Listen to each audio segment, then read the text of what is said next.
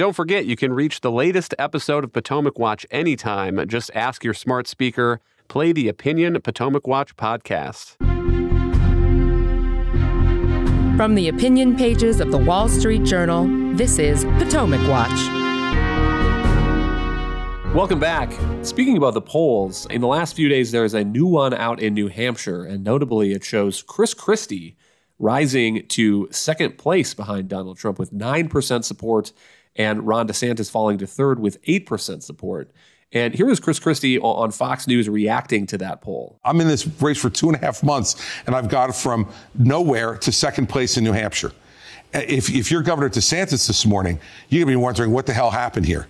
Okay, he's been he's been the presumptive front challenger since before he was reelected governor of Florida. I'm now past him in New Hampshire after two and a half months.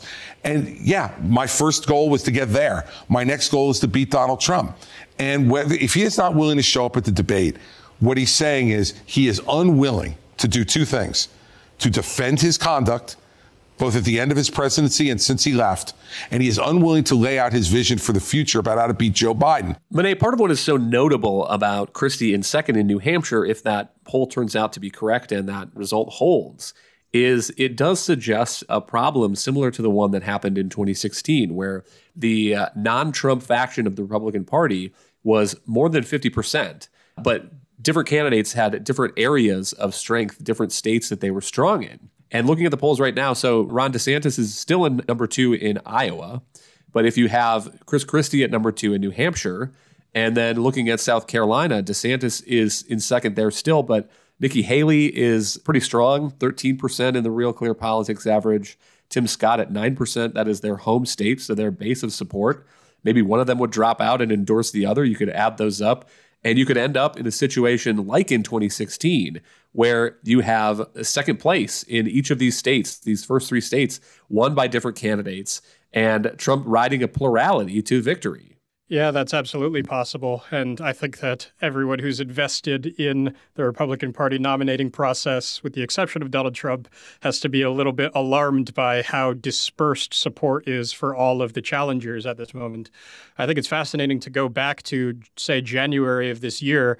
And at that point, Ron DeSantis was coming off of his almost 60% reelection uh, vote total. And the expectation was that he would be the pole position challenger to Donald Trump.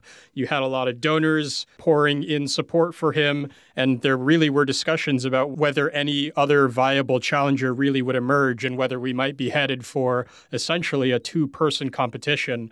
And the entry of so many other candidates since that point and Ron DeSantis' own underperformance on the campaign trail has totally put the kibosh on that possibility. So it seems that as if at least from now until primary time and the beginning of next year, we're going to have all these candidates duking it out and a lot of support divided among them. But I do think it will be interesting to see whether some of them are willing to drop out uh, once we do get to the primary stages. It's one thing to stay in when you have, you know, low single digit support in the polls and think, hey, I want to actually put this question in front of voters uh, rather than just looking at these theoretical polls.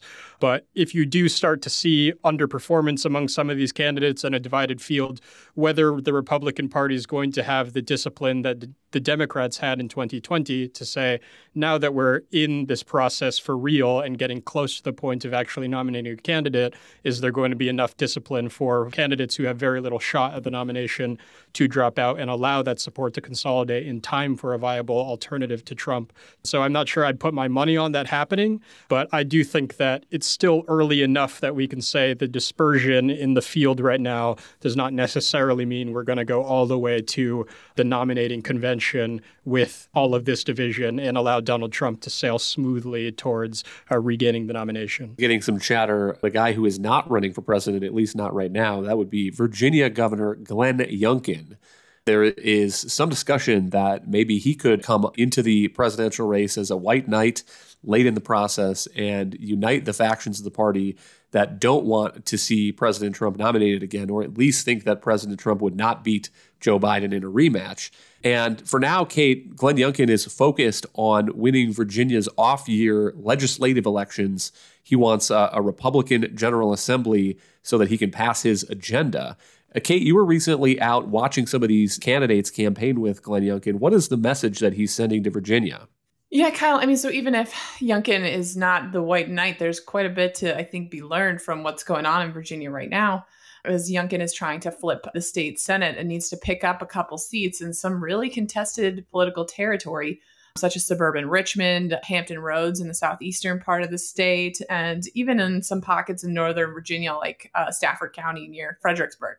But some of the things I think we can learn already is first of all, he's running a campaign that's rooted on just a, a few core issues that voters care about and that is education, the economy, and public safety. And these are the only things the governor and his candidates, some of which he endorsed in a primary, are talking about on the campaign trail. That is showing some discipline and also a, a good message for some of these districts that are tough to win. Also, the candidates seem to be of good quality for the districts that they're trying to run in. You know, in Stafford County, a Marine wife and teacher, an OBGYN running in Richmond, who I think has a particular credibility on talking about the Republican views on abortion with suburban women voters. So they've chosen some good candidates. They're sticking to some disciplined messages. I don't think this is a, a lock for Youngkin by any means because it's these are tough races and Virginia has been turning more blue in the past 20 years.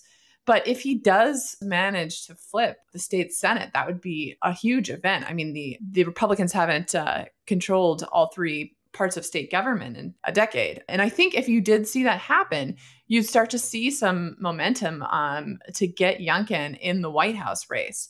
I think there his optimism and style, political style, is really refreshing. Uh, that's a definitely a plus on his side, but it would be uh, just a huge step up into a real national limelight. That at times candidates who have looked very promising in the state, we're just talking about Ron DeSantis, sometimes struggle under that really higher level of scrutiny. So can't be sure, but I think there would be intense pressure to get him in the race and that he might have some salient appeal with some constituencies that Republicans have just been losing and losing with Trump.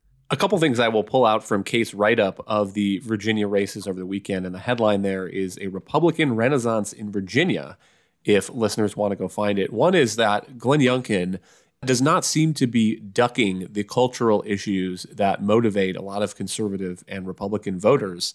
So, a couple of examples he supports a statewide ban on abortion after 15 weeks. And he also was talking on the, the stump about this law that Virginia passed to put age verification rules on pornography websites. That, again, is something that is a cultural issue, but he's approaching it with a sort of sunny optimism and a problem solving mentality that is different from what other, other Republican governors are offering. The second thing I'll pull out is a poll from Virginia Commonwealth University saying that if Glenn Youngkin were facing Joe Biden in the 2024 contest, he would win in Virginia by 10 points, which is a remarkable statistic. This is a state that Republicans have not carried in a presidential contest since 2004. And a lot of that is just due to the the changing dynamics in Virginia and the balance of it now going to the suburbs in Northern Virginia, particularly, and Republican Party struggles with those kinds of suburban voters, especially in the Trump era. And so it is not hard for me to understand why, Mene, there is this new chatter about maybe Glenn Youngkin is the solution to the Republican Party's 2024 problem. On the other hand, if he is going to wait until he gets the results in these legislative races in November to make a decision about whether to run for president or not, wow, that is is very late. Then he only has a couple months before voters start to go to the Iowa caucus, to the polls in New Hampshire, and that would be a remarkably swift presidential campaign launch and setup if he decides to try to do it. Right. With regard to the timing of a potential Youngkin presidential run. I think that he thinks at this point he's already far too late to mount a conventional campaign. Probably thinks there's a much less than 50% chance that he'll get in, but thinks that if he does get in, it will be because there's some kind of emergency, essentially Trump is consolidating support, and you see other candidates, potential challengers, beginning to flag or even drop out. DeSantis grossly underperforming, and there really being a groundswell of concern among Republican donors and among Republican primary voters who are looking for an alternative that we need to stand up some kind of emergency challenger and throw our support behind that person. So I think that that's the narrow circumstance in which Youngkin thinks that he would get in, in which case that's something that's going to happen late in the primary process to begin with. And so that probably is how he sees it. But I couldn't agree more with Kate in that even if he doesn't run for president, that Republican governors and Republican presidential candidates have a lot to learn from the way that he's handled his own governorship. I think that his willingness to engage on those cultural issues, restricting sexual content from being taught in public schools and basically pushing back against progressive cultural overreach in government is something that is a winning approach, something that can build big majorities and can appeal to suburban voters when it isn't done with a hyper aggressive demeanor. I think we saw that with Ron DeSantis on Disney. It was a very popular thing when he first pushed back against Disney for getting involved in his legislation about what can be taught to kids in the classroom, but then he essentially overstretched it by continuing into this long legal battle. And I think that he's aware of that. And so that Youngkin approach of we want to show the parents that we're involved in making sure that their kids can get a quality education or not being exposed to bad politics, but doing it in a way that seems sane and serious and competent as opposed to a way that seems to love the fight for the fight's sake is something that can be a winner with the suburban voters that Republicans really need to win back to have any chance of victory in 2024. Thank you, Mene and Kate. Thank you all for listening. You can email us at pwpodcast at wsj.com. If you like the show, please hit that subscribe button, and we'll be back tomorrow with another edition of Potomac Watch.